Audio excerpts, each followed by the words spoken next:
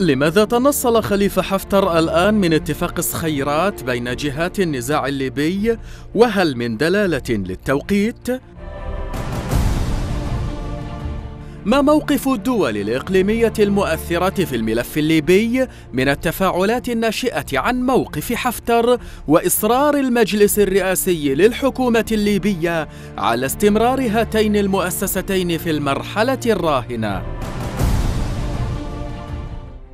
كيف ستتعامل الأمم المتحدة مع حالة الانسداد السياسي في ليبيا؟ وهل لديها رؤية لإلزام جهات النزاع بمضمون خطتها لحل الأزمة؟ هذه الأسئلة تأتيكم في برنامج حديث العرب بعنوان ما دلالة تنصل حفتر من اتفاق الصخيرات